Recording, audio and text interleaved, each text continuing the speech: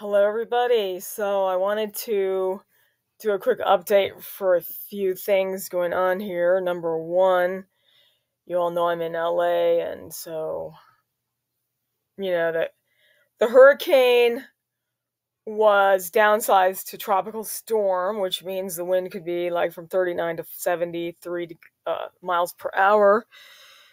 Um, and just so you know, that we kind of live on a slanted hill that goes up to the mountain. So thank God we're blessed to be in a place where you're not going to get a flood too easily. Um, so also, um, a sister wrote in and said she has like she's going through desperate situation and uh, said, "I'm sorry, I have nowhere else to write." Because I don't have a church. Sister, please, I want people to feel like this is their church if they need whatever they need. You know, don't ever apologize. You all are always welcome to write. You, all, many of you write each other anyway on here, and and I thank you for all the times that I see people praying for people, and uh, you know, Giuseppe just got someone saved. Praise the Lord. So always feel welcome to write whatever you need to here. And we're always praying for all of you. I just want you to know that. Okay. So, and the Lord is here too. When two or three are gathered in his name, he is in the midst. Okay. So you will find uh, prayers and comfort here in Jesus' name. Now, the other thing, I was looking at background things I could use in a video and I came I came upon this because uh, you know I'm still watching for the the blue moon situation at the end of this month. Like I said, you know the Lord had spoken about coming on or around a blue blood moon, and so really that's that's a a generous vague time frame you could say we don't know exactly what what it means but it's a comfort, especially at a time like this.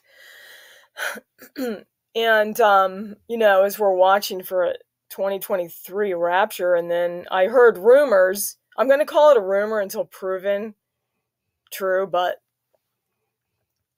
um, I heard Alex Jones talking about how they have a new. Their plan is to go back into lockdown and masks starting with uh, I think the airports in the mid September, and then it will just get worse from there. Well, what's interesting is that mid September is the Feast of Trumpets on the fifteenth of September at night fall, and you know.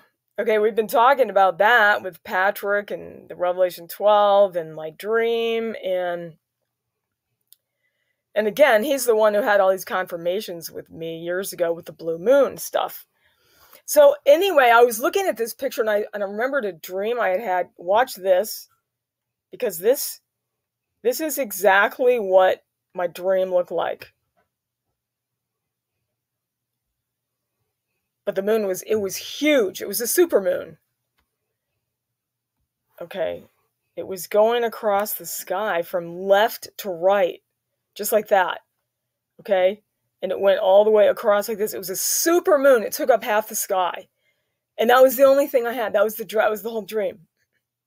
And and, and while I'm talking to you, I'm realizing, okay, so the the blue moon coming up is a super blue moon.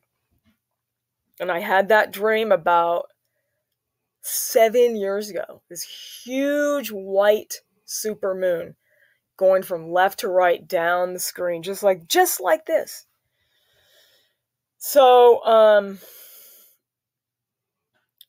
so anyway, so I wanted to give you this quick update here because um, I saw this and it reminded me of the dream, and I wanted to let you know how things were going here in LA with the, the tropical storm watch now. Like I said, it's you know there could be some major flooding for sure in like LA city um definitely in the flat areas but we're not in the flat areas. So, so, um, so, but what I was saying earlier, it is interesting if they were to try to start doing this in the mid September because that's literally when we're believing the tribulation, this Jacob's trouble for seven years, will start, taking you to 2030, the return of Christ with the saints, landing his feet on the foot of olives, beginning a new millennium. He died in in uh, 30 AD. I believe there's so much proof of that if you watch that video, Messiah 2030, you'll see it. I, uh, you know, if you haven't seen it, you got to watch it, Messiah 2030. So what, that's exactly what the tribulation would have. It would have it would have like a million times worse lockdown and every all that agenda they were doing. Uh, I will watch what I'm saying here though, so I've had a lot of videos taken down on that subject anyway, so um thank God. Thank God he's coming back and we can look forward to getting out of here when we know what's coming and warn as many people as we can until that day. That Jesus is the only way, the only way to get saved. So I wanted to give you this quick update um, hang in there. Always feel free to write what you need to. Um, and if I don't get back to everyone, I it, I read all of them. I just can't I can't respond to all of them, but I always read them. But it, if they are two three pages long, I literally sometimes can't. So, uh, admittedly, uh, you need to know that too.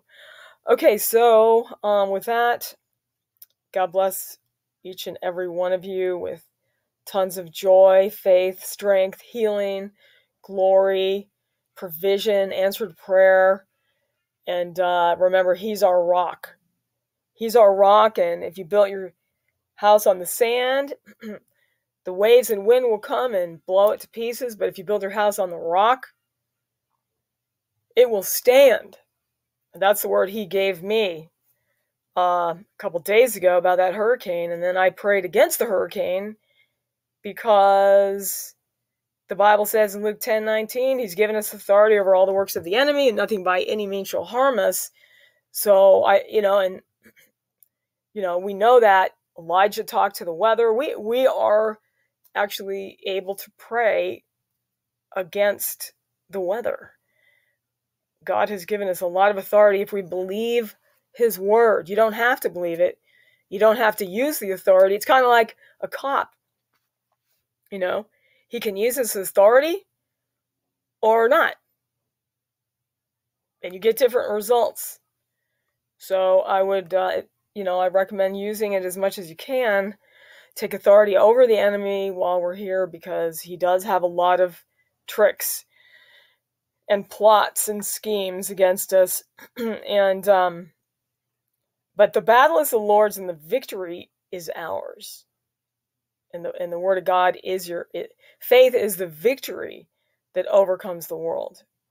So I pray for that to strengthen you until we leave. And remember, we're leaving any minute now. The, the tribulation is set up.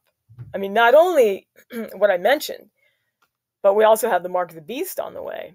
We've got World War III on the way. All of it is going to happen. And it's late in the year. Therefore, I would expect it to be happening literally any minute now. So we're leaving. So um praise the Lord. Get on the rapture train. I will see you guys soon. God bless you all. Until then.